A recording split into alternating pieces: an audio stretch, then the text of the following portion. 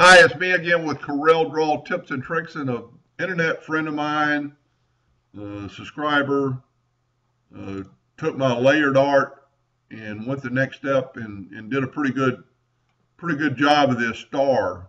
I'm really proud of him. It looks really good. And I just drew one and, and colored in the different layers. So this is what it would be, look like if you painted it well. And really, like he said, his wife didn't like the painted. And after I painted my first one, I didn't really like it either. This is really easy. I'm not going to put in a name on this video. This is going to be just a simple star. So for the video, we're going to get this guy out of the way. And so we'll have room to work. But just take your star, and if you don't know where your star is, it's underneath your polygon flyout, and just hit star, and holding down the control button to draw a perfect star. I made my star 10 inches to start with, 10 inches across. We're going to go up to effects, contour. We're going to contour to the inside seven times at an eighth of an inch. And voila, it's already done. Now this is this is a little bit monotonous, but it's it's so easy. Go up to Arrange and break contour apart. Select it all again and ungroup it because it's still a group.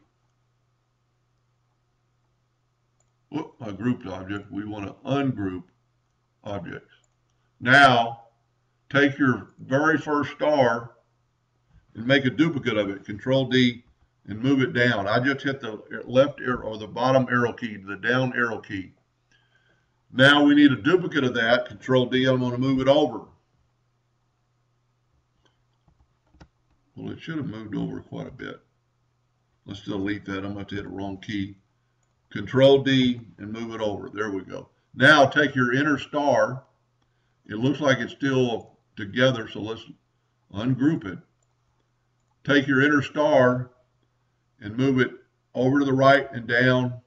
Take your smart fill tool, and we're going to fill them all in with black for the video. Take and fill it in with black.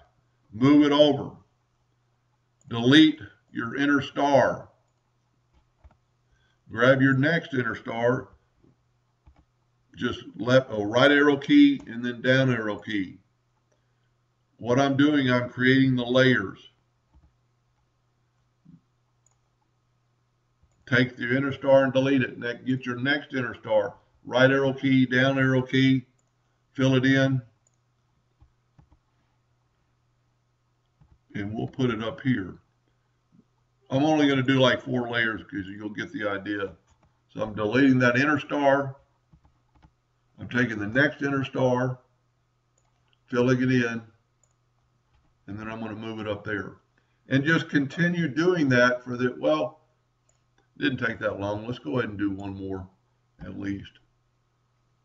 Take your smart fill tool, and what your smart fill tool is doing, it's making your, your lines or your cutouts. Tell you what, we'll go and do the whole star. There's only a couple more. Deleting that inside star. And I'm grabbing the inside star, the next size. And you can see they're getting progressively larger. We need to do one more. And this project will be completed. This one you'll probably have to zoom in a little bit, get your smart fill tool, fill in that gap. Now, you need this, this star. This is going to be your back. This is going to be the part that's going to be your back layer.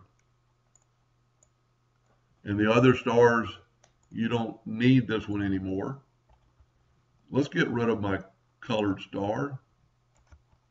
And let's take all these stars and left click no fill, right click hairline.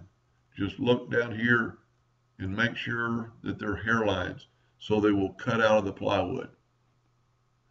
That's what it's going to look like. And it's also by using the Smart Fill tool that's grouped together. Don't ever move anything like that if you if you plan to do something. So let's take our star and move it over.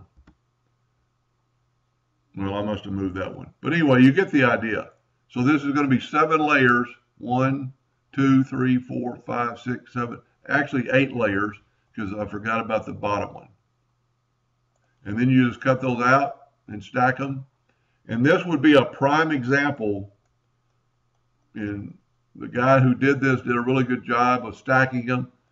And if you haven't watched my other videos in this series about how to make a jig, you don't really have to make the jig, but uh, putting that little bit of a, of a glue on the surface is more difficult than you think in, while clamping. So watch my previous videos and get some ideas from there. Anyway, hope that helped a little bit. Thank you for watching.